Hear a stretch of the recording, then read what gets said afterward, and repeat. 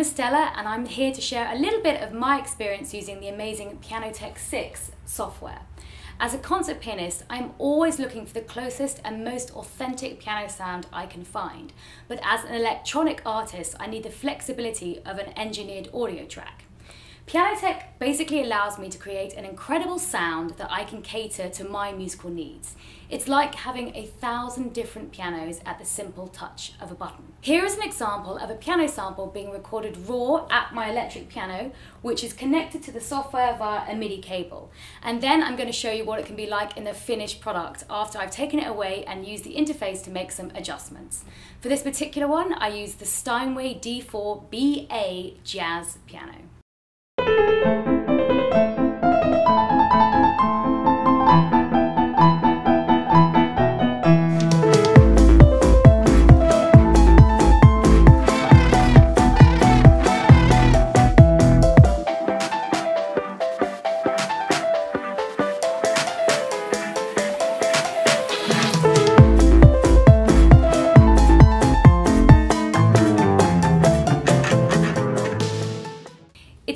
Incredible how through Pianoteq I can completely change the personality of the music and experiment with realistic sounds and keyboard patches. Using the various elements of the software, I'm able to fine tune the sounds of each instrument. Do I want it to sound like it's in a hall or a room or a church? Is the bass too heavy or too light? Does there need to be more reverb? With this, I can individually cater each sound to my specific needs. There's also a fantastic range of piano and keyboard sounds, and I'm going to show you a little bit of an example using some bark from a recent album I was working on. We're going to start with the harpsichord patch and then go through to one of my personal favourites, the Bluthner Daily.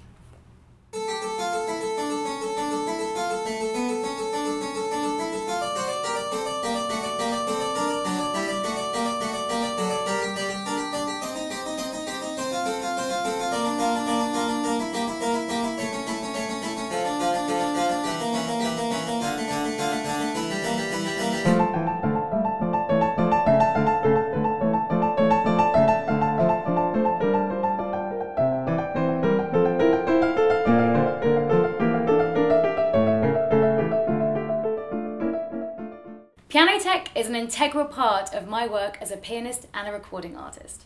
My debut single Reinvention is out now on Spotify and iTunes and was exclusively made using a variety of Pianoteq keyboard patches.